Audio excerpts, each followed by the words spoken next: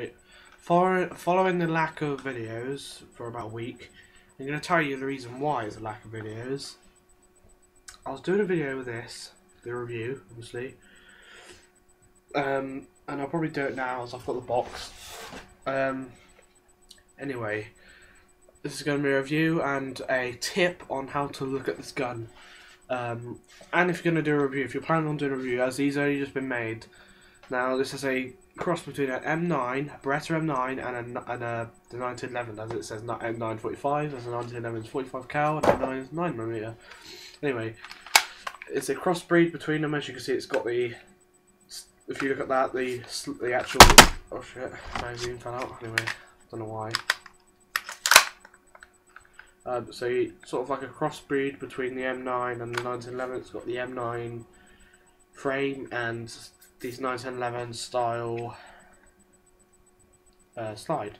Now, it holds 18 rounds, uh, it's quite a nice magazine.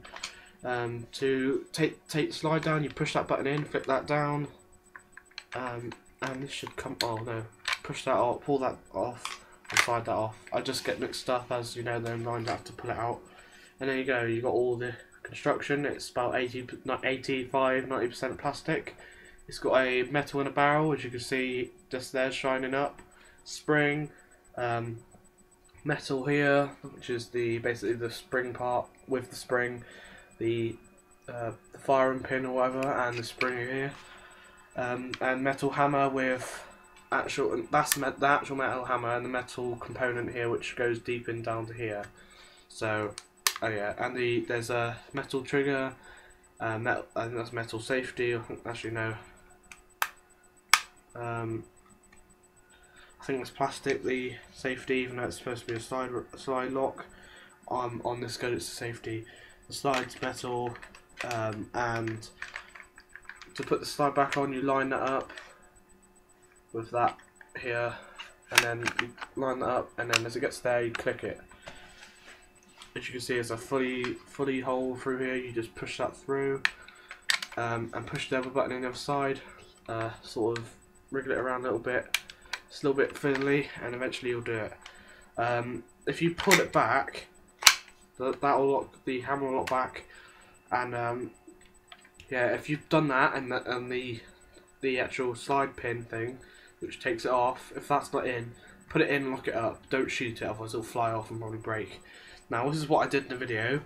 I lowered it down like you can do with a normal gun, and there you go. Didn't I didn't? You just saw that. I'll try and do it again push the trigger, lower it down.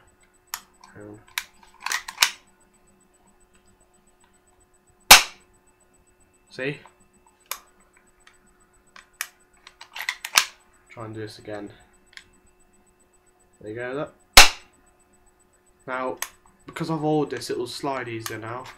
But when I first got it, it stayed there, and then like that. Now, as you can imagine, I was doing that, because it, it obviously I've I just sprayed um, maintenance oil on it. Don't use maintenance oil on a gas operated gun as um, it'll break them. It'll break them. And just use uh, silicone oil on gas operated gun, which I've got over there.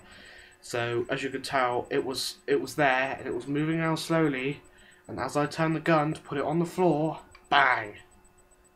Hit the screen. I was like, oh my god, I hit the screen. I turned the computer. I turned the I turned, I, I clicked off the video straight away to, to you know to stop it from doing, from recording. Um, so that I'm just giving you that warning because that's fucked up, and you know I didn't think it would happen. But now I've got to know the gun, it's safe. Just it's safe with the knowledge. You know, this is a new type of gun. You know, the, the guns don't usually uh, rely on a hammer um, because you can I did have a 1911, which I've done a review, the M21. Now you can shoot that, and you can hold the hammer, and the hammer doesn't do anything. It's just you can keep pulling it back and clicking it, and um, you can see. Yeah, you could do that all day, but it doesn't really do anything unless you pull the back. Pull it back. Um, yeah, the the release is um, metal, grips are metal, slides metal. The inner workings are metal, but the frame is plastic the hammer's metal and the internal hammer's metal. Um, the inner barrel metal, as you can see. um, metal weight in there. The this plastic magazine, so it's a nice mixture of um, metal and plastic. This is metal here. You can see that's how it works. That basically is to make the trigger go forward again. Obviously, otherwise it would just pull back, it would stay back, and you have to pry it forward. And um, I undo that. I undid these to spray spray them, so I might because I thought I might spray it. I took it off, and the spring for that went flying over across the room. I had to go find it and pick it up and put it back in again. And then, as I was trying to find it, I found it, put it on the floor, picked the gun up. The magazine release fell out. The whole magazine release with the spring. So I had to put that back in and put it all back in, so I know how it works. And the internal hammer fell out as well, so I had to push that back in and you know secure it. So it's a fiddly gun. Um, I wouldn't recommend it as a starter gun at all. A starter gun, you want a basic pull back and fire with a you know a, a, a hammer that doesn't actually work. That's because it's just not reliable for a hammer when you're when you like first started this gun when you, you first started you know airsoft. Um, and yeah.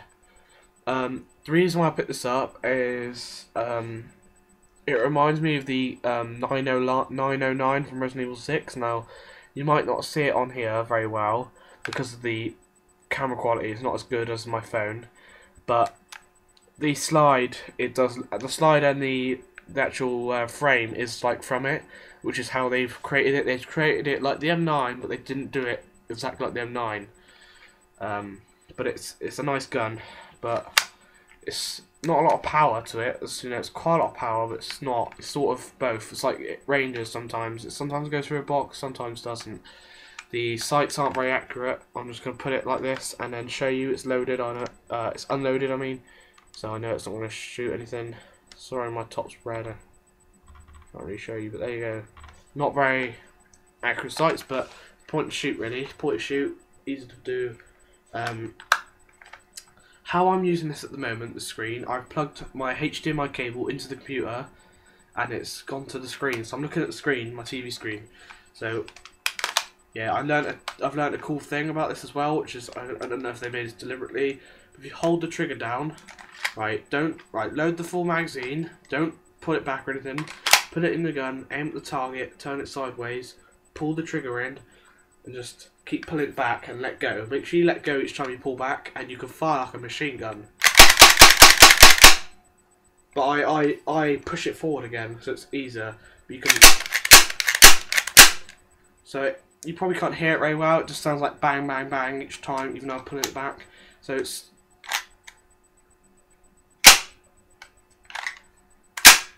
See?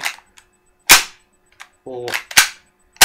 So and it, it does work. I'm telling you. I loaded a full magazine. I um, opened my dad, dad's garage door. Just went like bang, bang, bang, bang, bang, bang, bang, like really fast. I was like, I couldn't, I couldn't even see myself moving. It was so fast, and like, I couldn't even see. I, I mean, I couldn't even see the gun moving very much because I, like it just looked like that constantly, and um, like the gun was just, it just looked like that and um, the bullets were just spraying out of the gun. They weren't. They weren't. They were keeping at a good range. They weren't like falling out either. Constant range. Um, so that that's good. I'm, I do not know if they made it deliberately, but it, it worked. So, but I don't really recommend it that much because you know you could break your gun after a while. The amount of stress you're causing on it. But try it once. Yeah, it won't do no harm. I've only done it once anyway, but yeah, um, because it's metal obviously banging it against surfaces eventually will make the plastic wear. Well, not plastic. It? Plastic. The paint wear off the metal. You can see a little bit hard to see, but on the edge of there. Um, on the hammer as well, where where it keeps hitting it. Um, but yeah. Um, if you want to know what wear's like, buy a Samurai Edge airsoft gun, which I've got, and use it like on and off for a few days. Like like there you get it, shoot it loads. Um, you know, like mess around with it a little bit and you know look at it and play with it a little bit, and then put it away. Next morning, do that and keep like playing with it and using it, and lubricating it, and eventually the like it doesn't. I don't know. They didn't. They didn't use the paint properly. The paint just wears off it. Like you could scratch it a little bit with your hand, it would come off. they didn't they didn't use it properly anyway. So it's a nice gun. It's I've got big hands and it fits perfectly. There's like a little bit extra room, so that's good. Nice big trigger. You know you could you, know, you could easily you know hold it hold it properly. You know whatever you want to hold it like, but holding it like this looks stupid. It looks wrong anyway. Hold it like this. Like put your thumb over that hand, thumb like that. So hold it like that. Cup your hand around it. Put your thumb over there like that. So it's keep it tight and that's a good grip. Now if you're standing up you want to lean forward a little bit so you handle the recoil of it going back.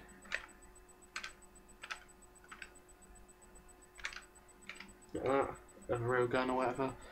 But yeah, so the gun works very well. I mean, I I would recommend like um, cleaning and lubricating your gun. Um, now as you notice sometimes this happens. Once you like push it and then you take out this what you want to do is push it back in again. So the spring is in there and that sticks that comes out a little bit.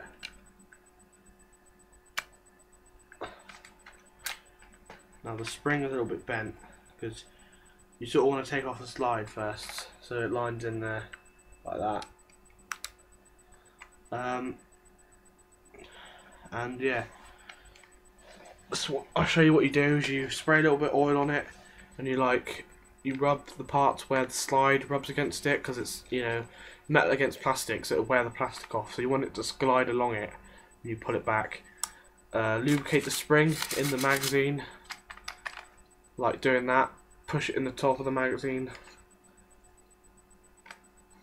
Like that. Put it in sideways push it up and then um, if you want to be more specific, uh, like properly, do that, and then uh, you could possibly do it like that better. You can see it goes in. So push it in, pull up, push down. You can't you can't push straight down because it's too thick. So push it in, pull it up, and then push down, and you can clean it. As you can see, black is coming off. Um, that's good. Now Sorry, it's just come out again. Quite annoying. It didn't have a follower for the spring, so it wouldn't fall out. But this is what you want to do. You want to get this, pull it down, pull it out a little bit, and there you go. You've just took out the barrel a little bit, and you can see it's pretty oily. You want to, you want to rub that oil off, um, and you know, get it in here and push it in around because there's like a it's like a little lock where you push when you pull the slide back and let it go, it pushes a BB in, and there's like a little lock so the BB stays there and doesn't roll out the barrel. And um, when you fire it, it pushes it out of the lock and shoots it out. Now, if you put oil on that, the lock doesn't go, so the, the doesn't stay. So the BB will just fall out. So that's what you want to do. You just want to rub that oil off because there's too much oil on it otherwise. And there you go. Make sure you spray your springs. You, like if you get them wet or something in an airsoft battle, you know you don't want to rust them out. So spray a little bit of oil on there, in here, in here, and then in the barrel obviously, and then you know push these in the barrel like that. Clean them. As you can see, it's all black. That's that's a good thing. Uh, like that. It means that the, the gun's getting clean. So there you go.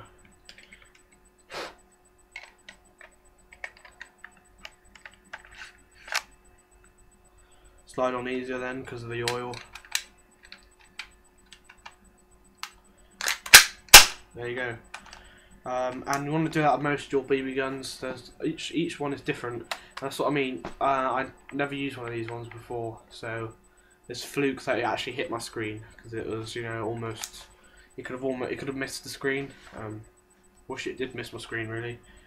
So there's not much I can do. So uh, I hope you've enjoyed. Um, it's a nice gun. Just be careful with it. I mean, I know all these rules, but the, that rule didn't uh, that didn't affect it. I mean, I was you know I didn't I've no I didn't put I didn't point out my face in the review. I didn't you know point it, shoot it. I actually had my finger off the trigger while I lowered the hammer and put, went to put it on the floor. So you know just, just keep that in mind. You'll know if you if you have it now with you and you're watching the review, so you know more about it because I didn't know about the slide thing until I looked at the review. Try it now, right? Pull the slide back and let go. Don't put any BBs in it because you might shoot someone by accident, right? So if you've put if you've put BBs in it now, you've loaded it, put it on the ground, and pull the trigger, right? So it will hit the ground and won't bounce off. So you want to put it face down on the ground like that, straight on it. Take the magazine out, put it back, right? Hold the hammer, um, push the trigger in, lower the hammer down softly so it reaches that mark where you can't feel it pulling on it anymore and let go. Now it might do that or it might not do it. The first few times it didn't do it and then it obviously did that time. Um, I mean like the first time I tried that it shot and then after I tried it again it wouldn't do it. Now it's did it again. So and you'll see and then if it doesn't do it just push it with your thumb and it will shoot. Um, made in China obviously pop-up system, one one one to one scale assembled metal plastic model airsoft gun. Um, best rating years above. Um, uh, UG, UG uh, Toys Combat Force. Now, as you know, um, it always says on guns, if it has it somewhere on here, so I'm pretty sure it did. Uh, it did say it somewhere I don't know where it says it though, so I remember having it, written it somewhere. Um, anyway, it looked like that in there. Um, a company, most companies will write on their boxes, uh, we're not responsible for the damage caused, so I can't do anything about it. The shop I could I bought from wouldn't do anything either because I'm the one with the gun, so I could easily lie and get them to pay up. So there's no point. They won't. I won't win because it's it's something that you can't you can't win over. It's different. It's hard to explain, but um, anyway, it's an alright gun. Uh, it's up to you if you want to buy it. I mean, I'm not forcing you to buy it, obviously, but it's just my opinion on the gun, my experience with the gun. So you can't do it. So you've learned from my experience, so it won't happen to you. As I've learned from other things people have done to guns, and I've not done it, so I won't get hurt. Basically, so learn learn from my mistake. Um, everyone makes mistakes. It's part of life and whatever. But there you go. Uh, to show you the sights, fixed sights. You can't move them. So just learn from my mistake. Don't do it. If you've done it already, then you'll know what it's like. It's so annoying. There are a few people online now with these guns. Just be careful. Um, I'm usually careful with BB guns anyway. You know, it's just that time I, I was careful with it. That's the trouble. I I thought it would deactivate it because um, I bought one before, a gas one, for like a cheap gas one, and if you lower the hammer, it deactivates the gun. So you know, in real guns, you, most of them, you can deactivate you can deactivate the gun by doing that. So uh, yeah, I can't really say anything else really. Um, apart from don't try it. Uh, if you are going to try it, do it in a safe area where it won't bounce off and hit something. And yeah, learn from my mistakes. I'm not going to upload a video of it um, of it hitting the screen as you might laugh, and I don't really want you to laugh as it's my screen and you know it pissed me off. I'm going to upload this video now. Thanks for watching. Subscribe, share it to your friends. Check out my other videos if you're bored. Uh, you know you're waiting for more videos to be uploaded go back to my older videos. I've uploaded like 150 something videos now. Just go back and look at my older videos. I'm pretty sure you haven't watched all of them. And if you have, just watch one of the really older ones so you don't really remember them that much. I mean, you know, so many videos I watch from other people. I just go back to their other videos if they don't make videos. Like, even though I've watched them a few times, I usually, after I've watched a lot of their videos, go right back to the one of the first ones. You know, you don't really remember it that much. So just do that with me and uh, subscribe. Keep subscribing. I've got a lot more subscribers now. Uh, 55, 55 subscribers now. As I when I, I remember a few, I think it was a month or two back, I had 47. So it's a big jump. Uh, welcome to the new subscribers. Sorry I haven't been uploading videos lately. I'll try and upload more videos, but I don't really want to slow my internet down by uploading videos. So I'll space them out, but just enjoy my videos as much as you can check out some other people on YouTube like D6, Angry Grandpa, uh, Kid Behind the Camera, uh, Armory channel. Can't really think of much more. Um, D6. Uh, I was going to say Hickok, uh, Hickok 45, but he blocked me for no reason. I was just stating my opinion about something, and um, he he basically said yeah, and then blocked me. So I don't know why he would block me for just stating my opinion. But oh well, it doesn't matter now. You know, I did, I did what I did, and I didn't really try and annoy Hickok 45. I was just talking. I love his videos. Just, you know, just don't bother looking at his videos because he's he's. To me, I thought he was a nice person, but after his reply, he's a dick. I'm not even joking. He is. He has does nice does nice videos though, and I did enjoy him. So, don't check out Hickok 45 if you haven't already. He's a dick. I wouldn't even bother commenting on his videos if you do watch him because he just argues and shit. So, there you go. Subscribe. Check out them people, and yeah, subscribe. I'll see you guys later. Peace.